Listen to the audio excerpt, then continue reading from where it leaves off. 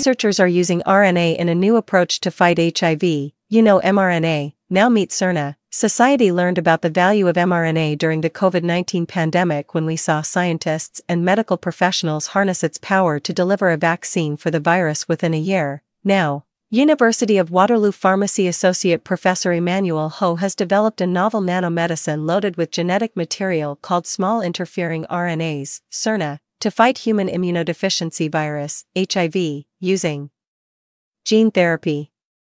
These siRNAs regulate which genes or proteins are turned on or off in our cells and showed a 73% reduction in HIV replication. This opens the door for new therapeutics in the fight against HIV said Dr. Ho, who is among Waterloo's researchers and entrepreneurs leading health innovation in Canada. Autophagy, also known as the body's recycling process, plays an important role in our body to eliminate microbes such as viruses and bacteria inside cells. HIV is quite smart and produces a protein, NEF, that prevents cells from activating autophagy, this is the first research to develop a combination nanomedicine that can reactivate autophagy and prevent HIV entry into cells, allowing our body to reinitiate its defense system. Additionally, HIV has a gene, CCR5, that allows the virus to enter a cell. The SIRNAs target both NEF and CCR5 to reduce HIV infection. This nanomedicine is intended to be applied vaginally to protect against sexual transmission of HIV.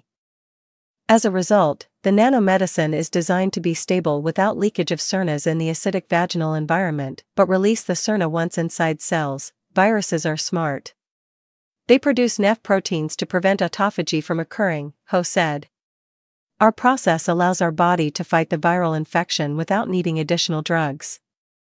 Ho confirms that the next steps include further optimizing the process and improving our understanding of how autophagy plays a role in how our cells protect us from viruses. We also hope this will shed some light to develop more alternative approaches to effectively reduce antimicrobial resistance, Ho said. The study, pH sensitive dual preventive siRNA based nanomicrobicide reactivates autophagy and inhibits HIV infection in vaginal CD4 cells, was recently published in the Journal of Controlled Release